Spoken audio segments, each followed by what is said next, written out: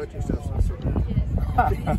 we'll leave that to V. He's he's a lot better at it, but just a great day for our guys. A lot of good swings and great energy in the building for the get So just really proud of the way our guys competed today.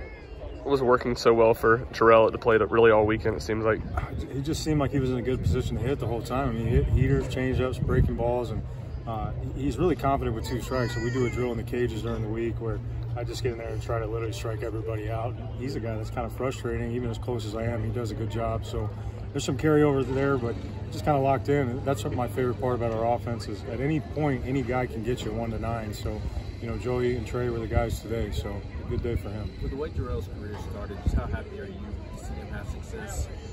Oh, it's, it's huge. I mean, uh, again, that was my very first recruiting trip at Tennessee. Was Jarrell was one of the first first games I saw, and uh, we were really excited about him early uh, to get here. And, and, right before he got here, he actually was playing uh, in a big tournament out in New Mexico and tore his UCL. Uh, so we lost him for the year.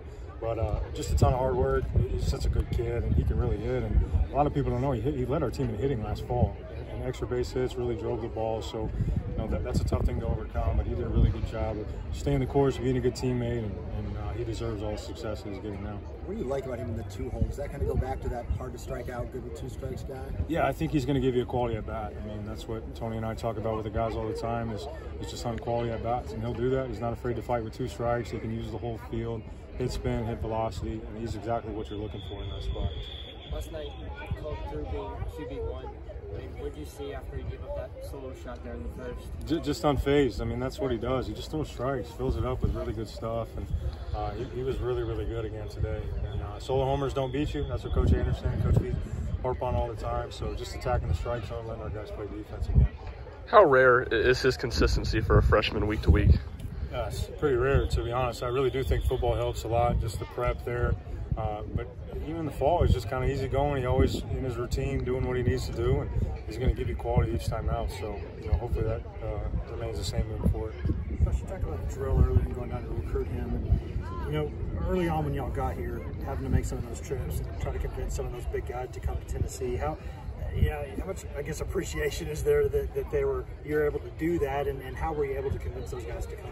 Yeah, no, I mean the conversations were a little bit tougher, you know, four or five years ago, just to be honest. And uh, but you know, with Tony leading the charge, having Coach Anderson as our pitching coach, it's a very attractive place, and obviously Knoxville and, and university, uh, first class facilities and great people everywhere. So, you know, we, we knew if we had a chance to get people on campus, show them what Knoxville is all about uh, we'd be in a pretty good position. But it's a really cool deal being the recruiting coordinator to go see these guys when they're 14, 15 years old and meet their families and they get here, get to work with them in the cage and to see them have success. I mean, that, that's what it's all about. So really cool, but this is a great place and uh, we're really excited about the guys that are coming over the next years too.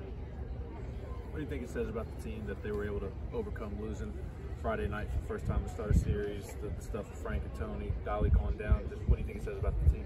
Uh, just resiliency. I mean, uh, next man up. We always, you know, Gilbert is he's a character, but we always kind of joke about this stuff. And uh, but it's just next guy up. Find a way to get it done. It's in our locker room wall. It says get it done. So that's was just the mentality from the jump: is get our work in, prep, and then go out there and compete. The guys did that again today. What was, I guess, your reaction, the overall reaction to Tony getting a four-game suspension? You know, honestly, this is the first time I've heard it. I didn't even know. Um, obviously it's not good. I mean, he's I think he's one of the best coaches in college baseball. So, but he'll find a way, some way, somehow. He'll have our guys prepared, and uh, you know he'll, he'll, put us in a position to win without a doubt. Anything else? All right, thanks, Coach. Appreciate